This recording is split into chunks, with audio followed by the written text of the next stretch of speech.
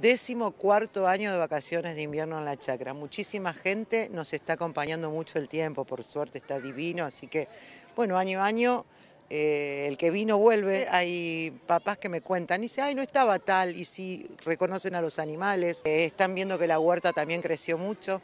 Muy contentos y muy agradecida a la gente también porque tener un paseo como este gratis no existe. Eh, un lugar tan bello, tan lindo, con 100 animales de granja, con la atención de todo el personal de acá que lo hace con mucho cariño y gratis. Así que la Municipalidad de San Isidro primero en siempre, ¿no? Está bárbara, venimos todos los años para las vacaciones. Es muy accesible, la verdad son interesantes, no son aburridos, eh, ya conocemos el Museo del Juguete, este, ella ha ido, mi hija la más grande ha ido a recitales y todo que propuso también el partido. Lindo, lindo porque lo traigo a él y a él le encanta ver los animalitos, darles de comer.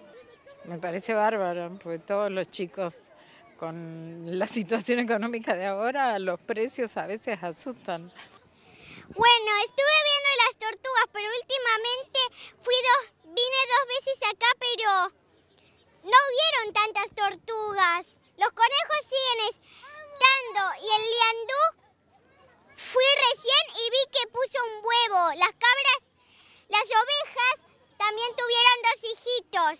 Sí, me reencantan. El león blanco es re bonito.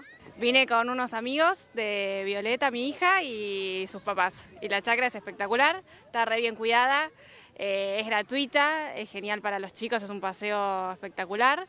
Eh, tiene una comida de semillas, todo muy cuidado, la verdad que bárbaro. Te vas a encontrar con 100 animales de granja que están todos. El amasado de pan a los chicos les encanta, además sale muy bueno, después se lo llevan horneado eh, y eso se hace todos los días, tanto a la mañana como a la tarde. Bueno, nosotros estamos ubicados en Perito Moreno 2610, que es en Villa Lina y es a la altura 1000 de la avenida Ader, que es bastante conocida en la zona.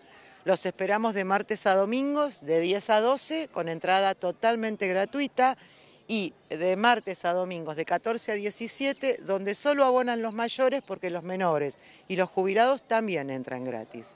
Así que aprovechen que hay mucho sol y no esperen que dicen que la semana que viene llueve.